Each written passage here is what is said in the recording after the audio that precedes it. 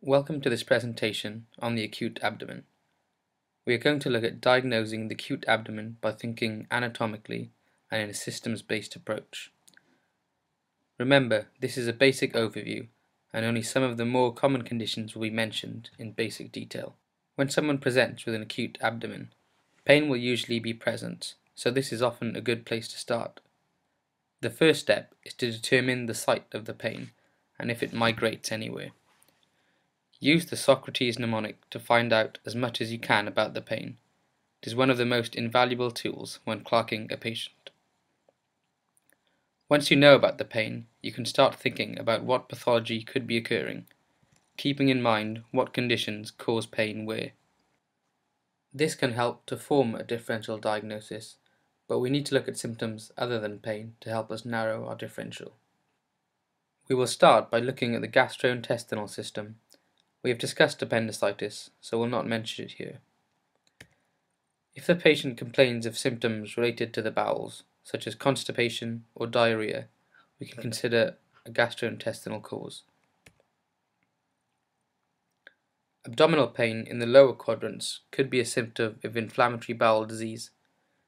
Pain in either or both quadrants is more likely to be Crohn's disease, as this can affect any part of the gastrointestinal tract.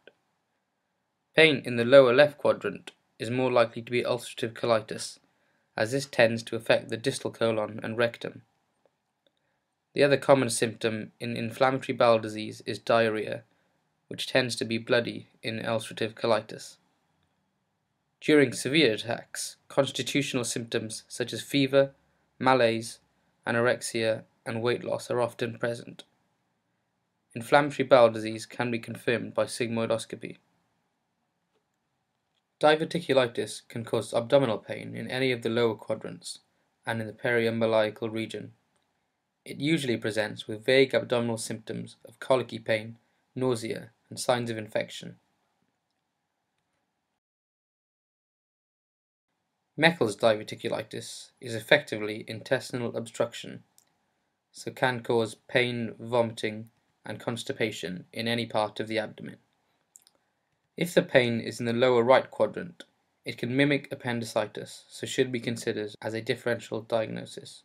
Abdominal colicky pain with vomiting, constipation, and abdominal distension are cardinal signs of bowel obstruction. Active tinkling bowel sounds are also present on examination. Note the mnemonic CHAT for common causes of bowel obstruction constipation, hernias, adhesions, and tumours. An abdominal X-ray is usually required to see where the obstruction is located. This picture shows large bowel obstruction. The clue is that the haustra do not extend all the way across the lumen's width. This X-ray shows small bowel obstruction, where the valvulae conniventes do cross the whole width. And this picture shows sigmoid volvulus. The dilated bowel is often described as a coffee bean.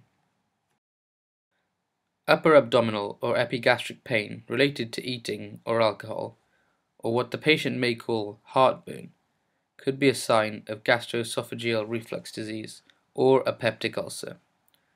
The patient may also complain of nausea and vomiting. Duodenal ulcers are four times as common as gastric ulcers. Most peptic ulcers are caused by Helicobacter pylori and can be eradicated with antibiotics. If the patient is suffering from diarrhea and or vomiting, along with abdominal discomfort, then this may be gastroenteritis caused by one of many pathogens, such as Campylobacter or Salmonella. Signs of infection may also be present. A full history should be taken relating to travel, food eaten, and if they have been in contact with anyone with a similar illness. A potentially fatal cause of an acute abdomen that may require surgery is perforation. Perforation of an ulcer or inflamed appendix, diverticulum, or bowel can lead to a generalized peritonitis. Signs of shock, prostration, absent bowel sounds, and abdominal rigidity may be present. In perforation, an erect chest x ray may show gas under the diaphragm. Perforation requires immediate shock management and surgery to fix the perforation. If there are signs of shock, but a perforation is not suspected, it may be a rupture of an organ, for example a spleen, rupture of an ectopic pregnancy, or a ruptured abdominal aortic aneurysm. The latter presents with severe central abdominal pain that may radiate to the back or towards the groin, and an expansile pulsing mass. If a patient has pain in the right upper quadrant or epigastrium, liver, biliary, and pancreatic pathology should be considered within the differential. Cholecystitis and biliary colic both present with constant right upper quadrant pain, which can refer to the right shoulder tip and even to the chest. The main difference between the two is that cholecystitis has an inflammatory component. The pain is often exacerbated by fatty foods and vomiting or nausea may be present. The following video shows how to elicit Murphy's sign, a sign of an inflamed gallbladder, such as may be seen in cholecystitis. Ask your patient to breathe out deeply, then place the edge of your hand under the right lower rib edge, and then ask them to inhale deeply. A positive test will elicit pain as the inflamed gallbladder descends against your hand.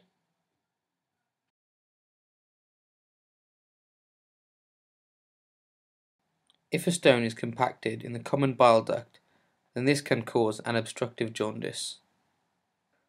Acute pancreatitis can present with epigastric or central abdominal pain that may radiate to the back, and vomiting is often prominent. Tachycardia, fever, jaundice, signs of shock, rigid abdomen, and Grey Turner's or Cullen's may be seen. The latter two are signs of retroperitoneal hemorrhage. Over two-thirds of the cases of acute pancreatitis are caused by either gallstones or alcohol.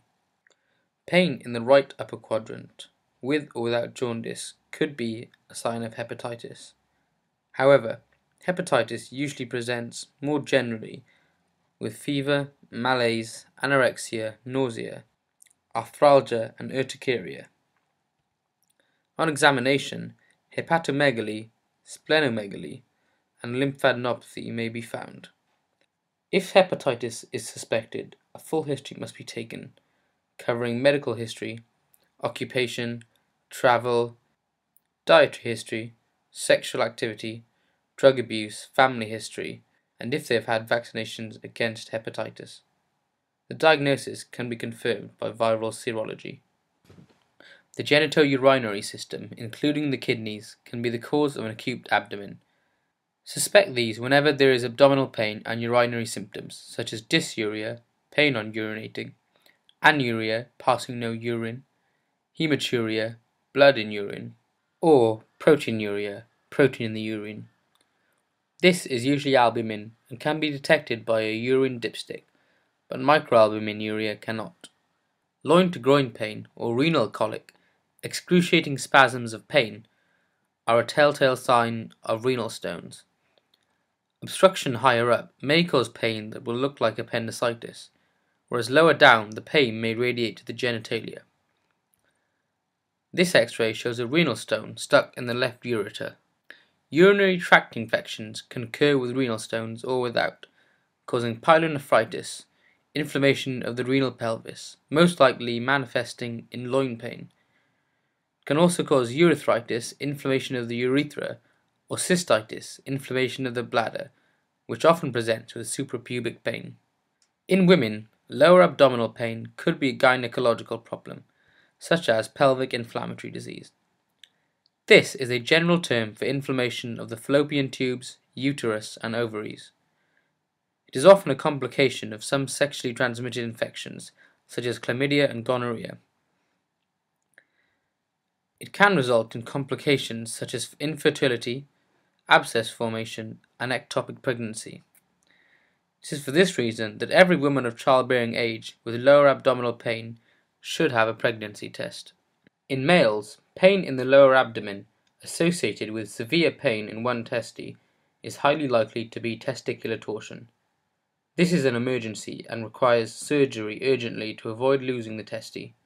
So we have covered the main pathologies in the acute abdomen, but this is by no means an exhaustive tutorial. There are many other diseases that can cause an acute abdomen. Cardiac pain can sometimes present as epigastric pain, with patients confusing it for acid reflux. Pneumonia can cause pain in the upper abdomen. And besides these, there are a whole host of other diseases that can cause abdominal pathology. Another useful tool is the surgical sieve, the mnemonic Vindicate. Use this to aid your differential diagnosis. When using it, rule out the unlikely causes to narrow your differential.